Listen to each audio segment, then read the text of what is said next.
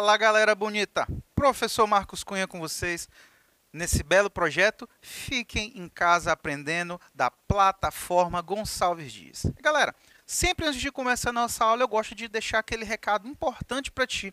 Terminou essa aula, quer revisar, quer relembrar alguns termos que foram falados, tanto nessa aula quanto em outras anteriores. Onde é que eu acho isso, Marcos?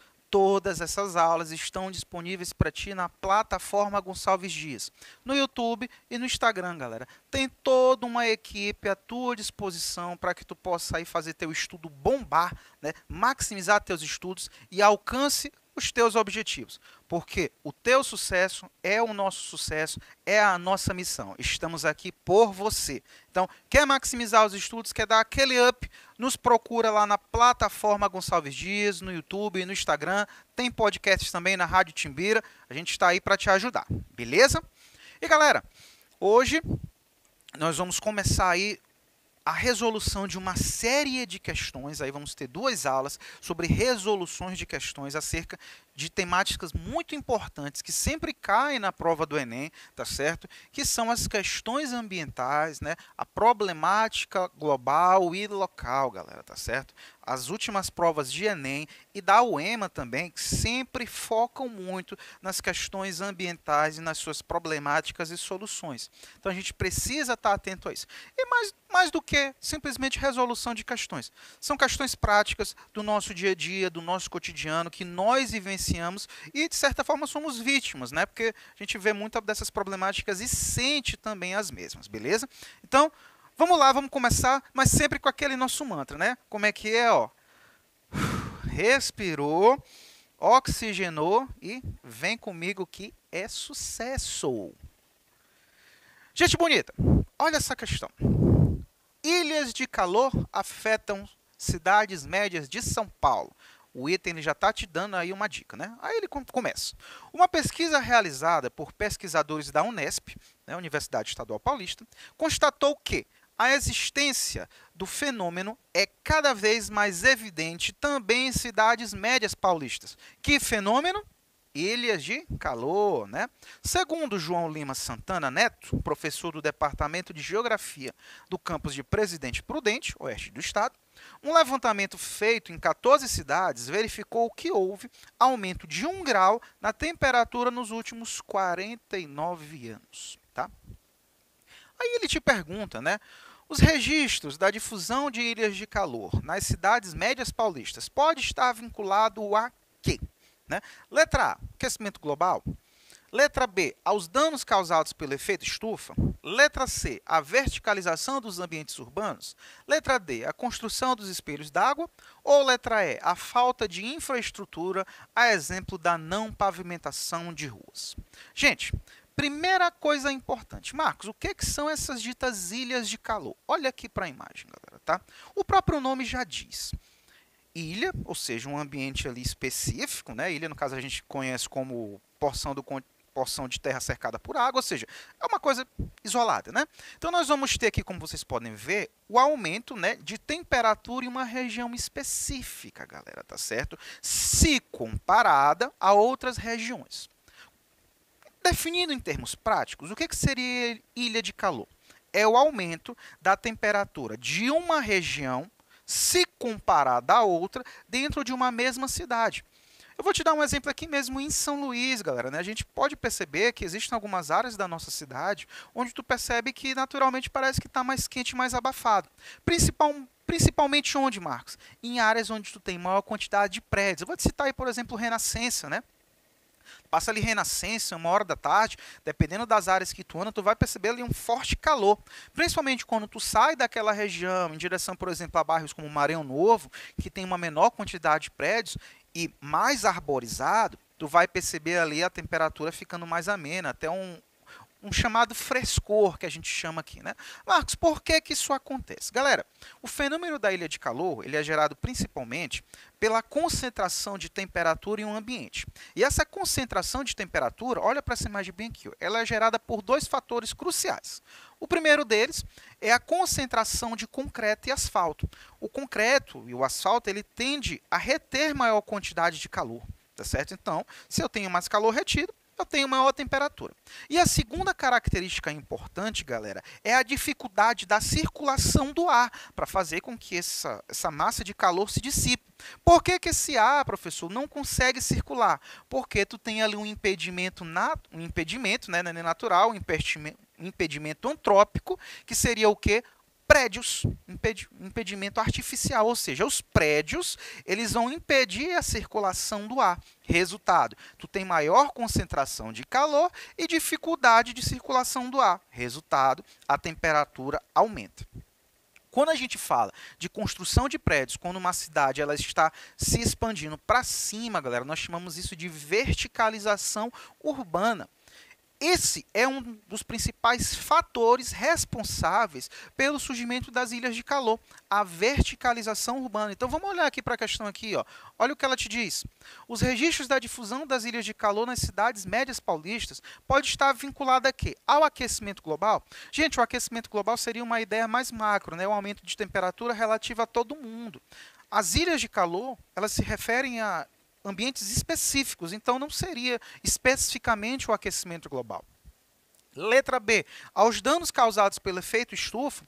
O efeito estufa ele é um fenômeno natural, a gente já falou isso em outras aulas, né, responsável por manter a temperatura do planeta, e ele é intensificado pela emissão de gases poluentes, o que dá por consequência o aquecimento global. Então não é o efeito estufa em si que é o responsável pelas ilhas de calor. Letra C.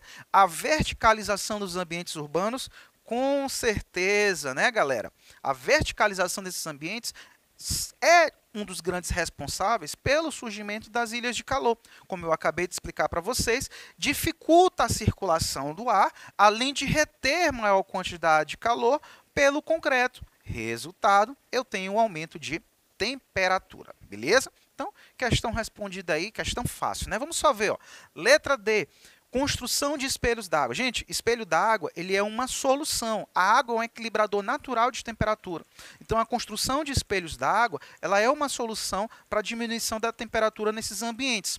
Uma outra solução também, anota aí, galera, é a ampliação dos espaços verdes, diminuindo também a quantidade de concreto, mas principalmente aumentando a proporção de sombra. Nós, tem muitos prédios hoje que já adotam os chamados telhados verdes, né? Ou seja, colocam plantas no telhado para justamente diminuir a absorção de calor, beleza?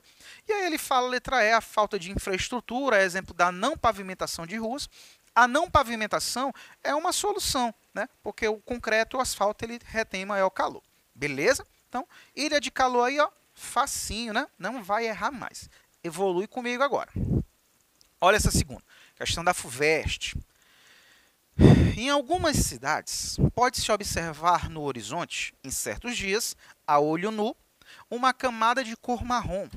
Essa condição afeta a saúde, principalmente de crianças e de idosos, provocando, entre outras, doenças respiratórias e cardiovasculares. Fecha aspas. O texto acima refere-se a um processo de formação de um fenômeno climático que ocorre, por exemplo, na cidade de São Paulo.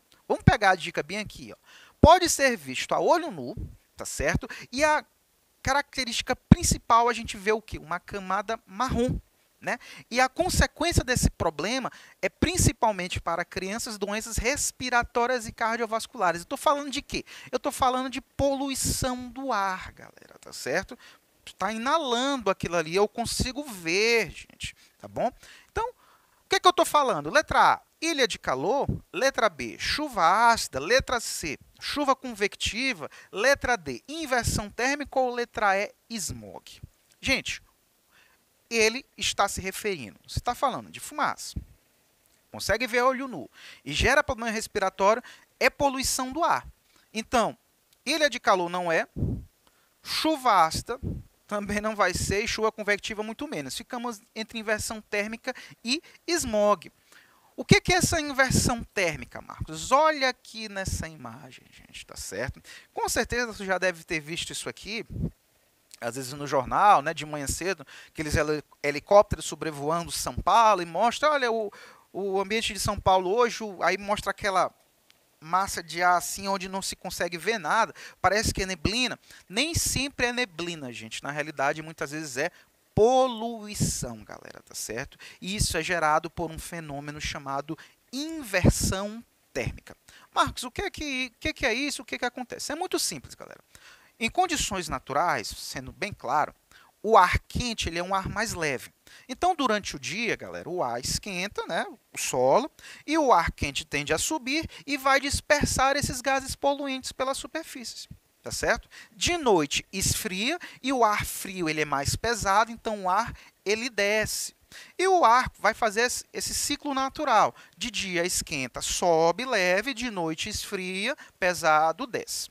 O que, que acontece na inversão térmica? Primeira coisa importante, a inversão térmica é um fenômeno que vai acontecer naturalmente no inverno.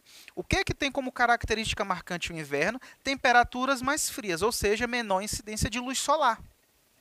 Resultado, nós vamos ter o dia mais frio, ou seja, nós vamos ter maior proporção do ar descendo do que subindo. E aí o que, que acontece? Durante a noite, esse ar frio ele desce em grande quantidade, ele é pesado, e aí, quando esse ar frio, galera, ele se encontra com esses gases poluentes, poeira, ele se junta e forma uma camada mais densa desse ar. Poluição com frio. E aí ele fica, né? essa camada bem aqui. Sol nasceu, né? Está amanhecendo. O que, é que vai tender a acontecer naturalmente? Esquentar, o ar quente passar e esquentar para que esses gases poluentes sejam dispersos.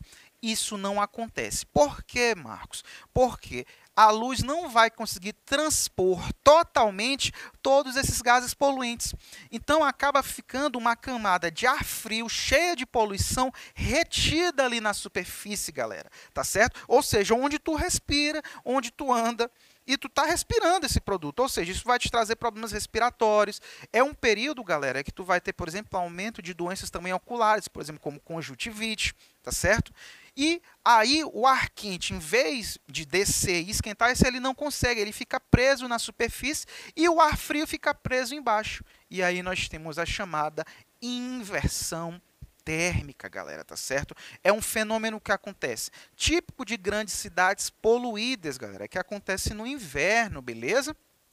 Então, como ele bem citou no texto, massa de ar, né, marrom, tu tem ali marrom, consegue ver a olho nu como tu está vendo traz problemas respiratórios, problemas cardiovasculares. Eu estou falando de quê? Eu estou falando de inversão térmica, galera. Então, qual é a nossa alternativa? A alternativa é a letra D, né, galera? Então, isso é a inversão térmica que provoca a concentração de poluentes na baixa camada da atmosfera, tá certo? Então, lembrou aí, inversão térmica típico das grandes cidades, tá certo? Poluição ali no período do inverno, beleza?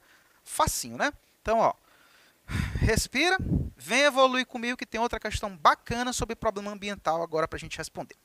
Olha essa aí. Ó. As chuvas ácidas podem ter diferentes composições dependendo do local onde são formadas. As mais nocivas são formadas em grandes centros industriais, onde a queima de combustíveis fósseis, gasolina, óleo diesel, tá? Esse tipo de chuva é carregado de poluentes, né? Marque assim a opção que traz os compostos que tornam essa chuva nociva à saúde. Aí ele vai te dar aqui óxido de carbono, óxido de cálcio, óxido de enxofre óxido de hélio. Gente, primeiramente, vamos entender aqui o que é essa chamada chuva ácida. Primeira coisa importante, a chuva ácida, galera, ela é gerada por uma reação química tá? que vai ocorrer nas nuvens. O que é, nuvem, Marcos? Nuvem, gente, nada mais é do que a água no seu estado gasoso. Tá? Para tu entender também a chamada chuvaça, a gente precisa re, re, trazer um conteúdozinho básico de química que é chamado pH, que é o índice de acidez. A tabela pH, galera, ela varia de 0 a 14, sendo que o 7 seria o elemento neutro. Quanto mais próximo de zero eu tiver, mais ácido o elemento fica.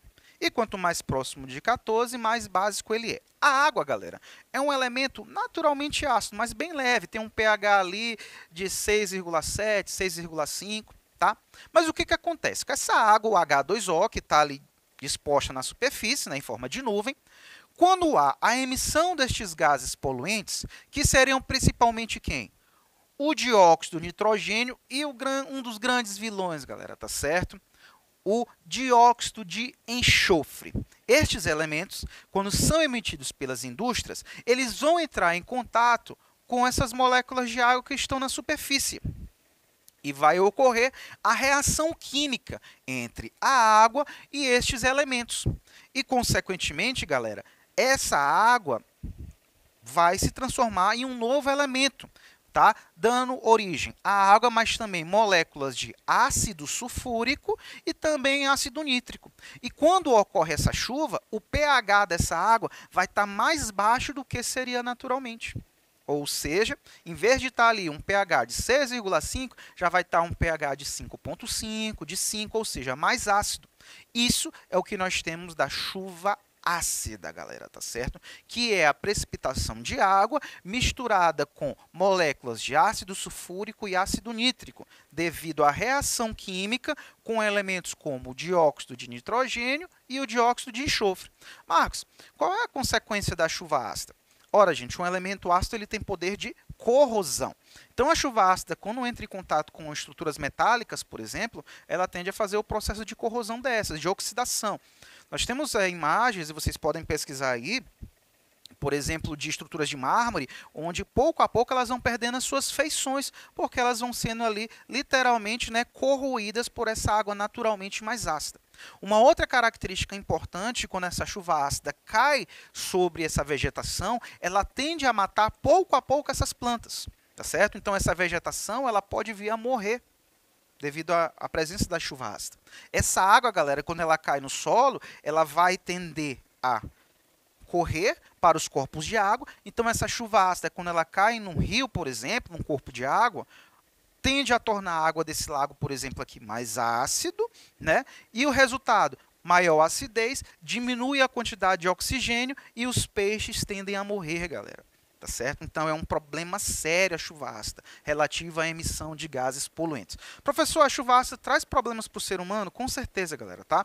Problemas o quê? Por exemplo, respiratórios, gente, tá? Como assim, mas respiratório? Porque essa água mais ácida vai cair, depois ela vai o quê? Evaporar e tu vai respirar estes gases mais ácidos. Olha o problema aí, tá certo? Pode gerar também até problemas de pele. Claro, não vai fazer um buraco na tua mão, cair, sabe Deus. Não, não vai acontecer isso, tá? Mas vai poder aí gerar problemas, tu vai perceber uma vermelhidão na tua pele dependendo da quantidade de chuva ácida que tu venha pegar. Beleza? Então vamos evoluir para a questão, galera, tá? Então, a nosso, nosso gabarito aí, né, galera? As chuvas ácidas podem ter diferentes composições, mas qual é aí o principal elemento responsável pela chuva ácida? São os óxidos de enxofre, né, galera? Como a gente falou aí, é um elemento importante para a geração da chuva ácida. Beleza? Então, questão bacana, né? Vem evoluir comigo, tem mais coisa aí para a gente finalizar. Olha essa daí. O smog de Los Angeles é formado a partir da, da reação luz solar, né? Aí tu tem aqui o dióxido de nitrogênio mais o oxigênio, né? Que vai formar aqui algumas substâncias. Aí ele vai te dizendo, né? Baseando-se no fato de que esse tipo de smog só ocorre na presença da luz solar, marque dentre as alternativas a seguir aquele que indica outra denominação dada ao smog de Los Angeles. Gente, primeiramente importante, vamos lembrar, o smog, o que é esse smog, Marco? Smog é a junção da palavra smoke, fumaça, com neblina. Tá certo? Ou seja, é essa camada de poluição que as grandes cidades vão apresentar. Seria aí uma consequência da inversão térmica. Né? A inversão térmica ela concentra aqueles gases poluentes na superfície, né? e aqueles gases, ali, aquela fumaça escura, a gente denomina ela de smog. Só que o smog ele pode se dividir em dois tipos: o smog industrial e o smog fotoquímico. O smog industrial, galera, é aquele que vai ocorrer no inverno, que tem essa coloração aqui mais acinzentada, tá certo? Onde tu vai ter aí essa concentração de gases poluentes na superfície, como tu pode ver essa imagem. Enquanto o smog fotoquímico, galera, ele tem uma característica marcante. Ele ocorre durante o dia. É quando os gases nocivos à saúde vão reagir com a luz, galera, tá certo? Formando aí substâncias nocivas, né, à nossa saúde, à nossa respiração. É poluição, é essa fumaça. Só que ele vai se diferenciar por essa coloração aqui, ó, né? Mais aí alaranjada. Por quê? Porque vai acontecer durante o dia, galera, tá certo? Isso nós chamamos de smog fotoquímico. Aí ele te pergunta, né, que tipo de smog esse está relativo? Ora, ele falou que tem uma coloração mais avermelhada, né? Ocorre durante o dia através da fotossíntese, então nós temos o smog fotoquímico. Valeu, galera!